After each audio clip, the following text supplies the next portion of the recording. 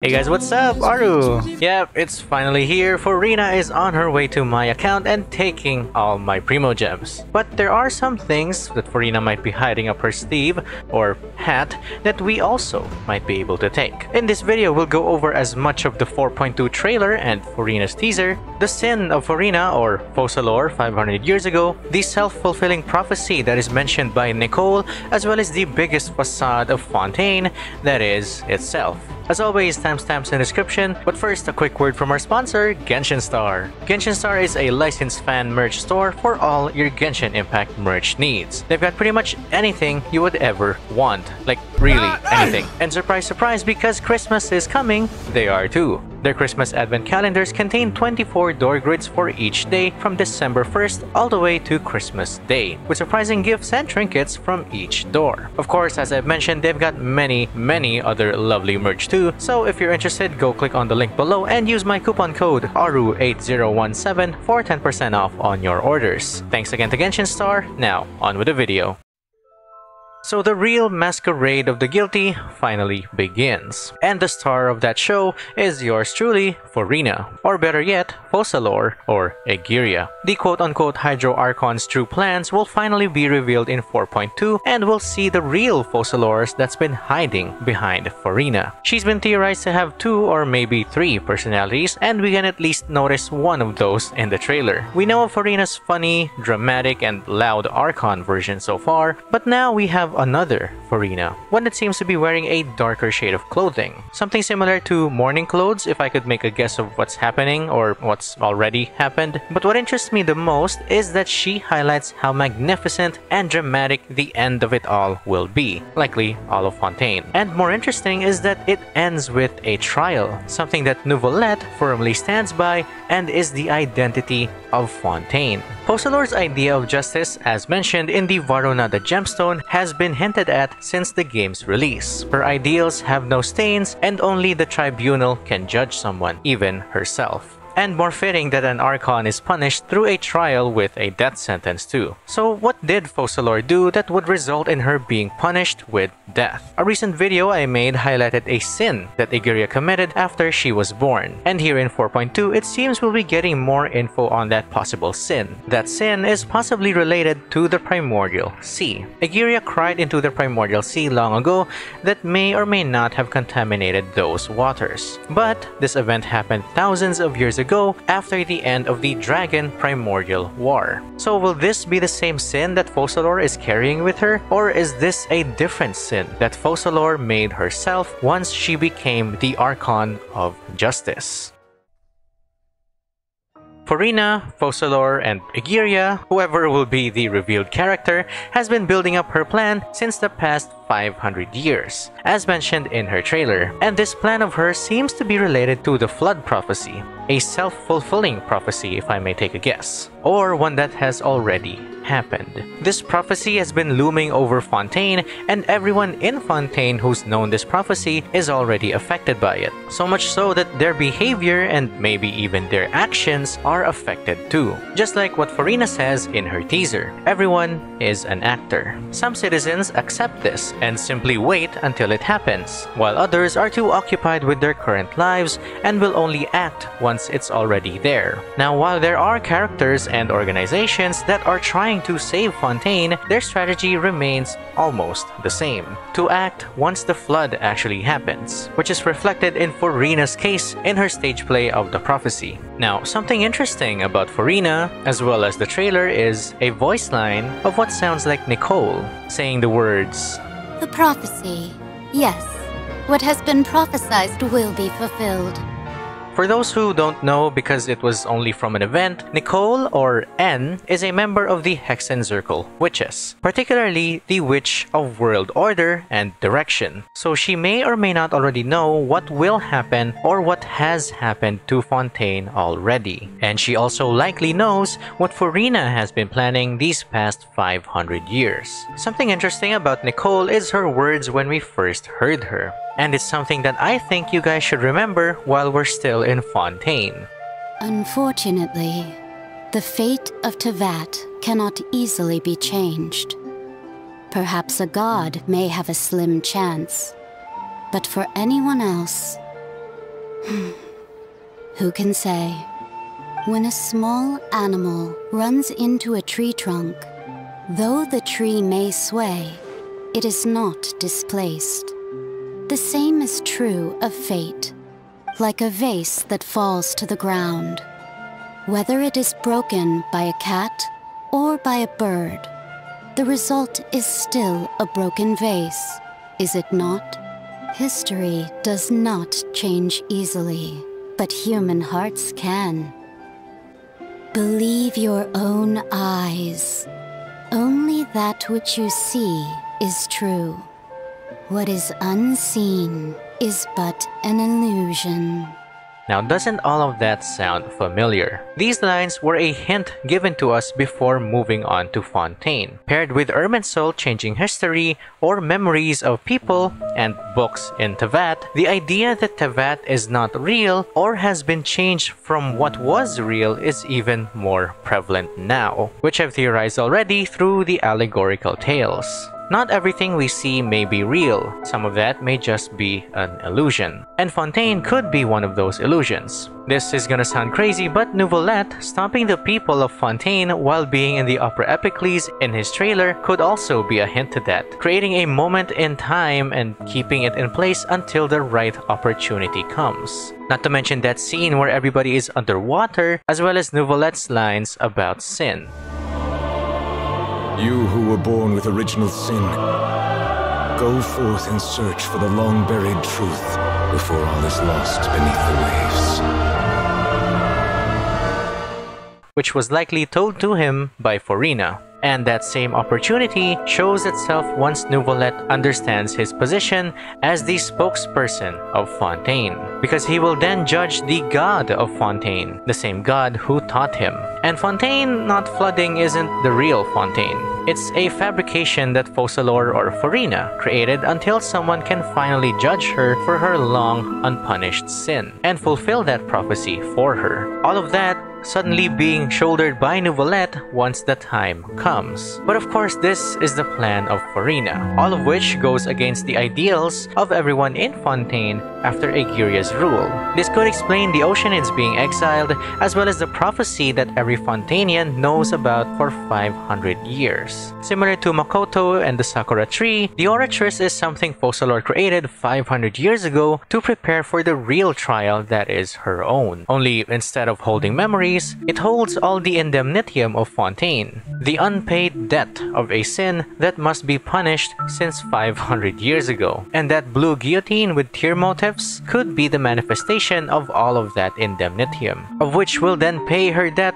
fulfill the prophecy of Fontaine, and finally leave her, or left her alone on that throne. This could also reflect Furina crying on the throne 500 years ago, pointing to Furina crying at the Fountain of Lucine, which could be Focalors behind the mirror in Furina's teaser.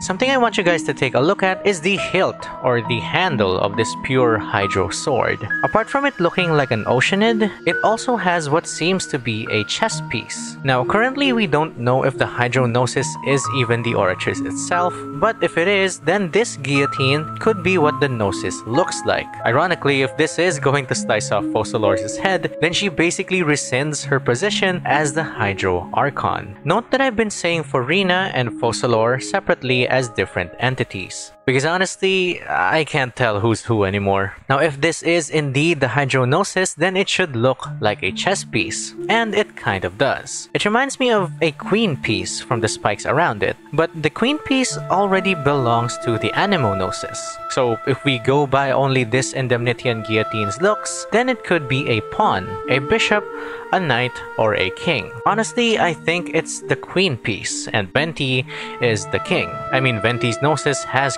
crosses on it, which is similar to an actual king piece. But Furina's Gnosis could be a pawn too, since the Oceanids were spread all over Teyvat. Furina's skills also include the Salon Solitaire, as well as the Singer of Many Songs, which could be quote-unquote pawns of Furina. But it could also mean that she is the king, and her pawns do the rest, just like Neuvillette and everyone else in Fontaine. But we already know that she's been doing a lot of things behind the scenes.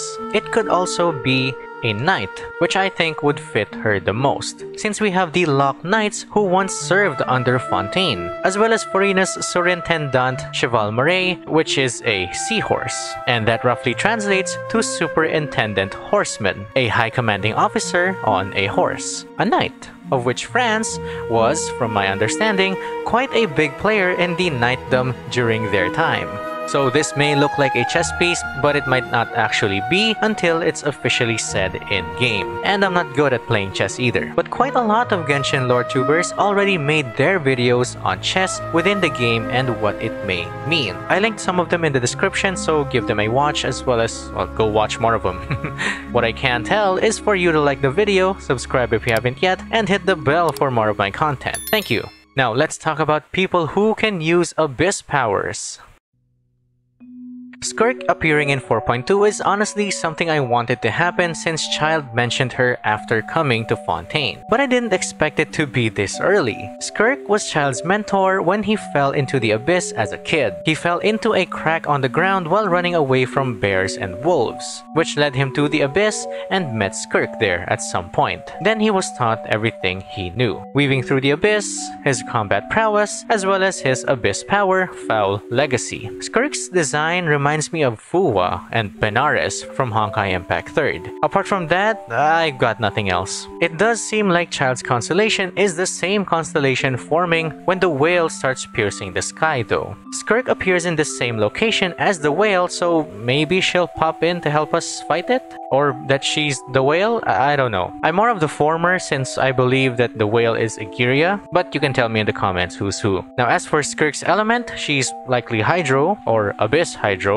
if Hoyo creates a new element. I mean, we already have Pneuma and Ousia as the Abyss and Celestia, so we can only wait until we get a new one. Moving on to the Narwhal itself, its name is the All-Devouring Narwhal, as well as a title, Visitor from the Far Side of the Sea of Stars, implying that we'll likely meet more visitors from the quote-unquote Sea of Stars later on. I'm kind of assuming that the Sea of Stars is referring to the Primordial Sea here, and not actual space.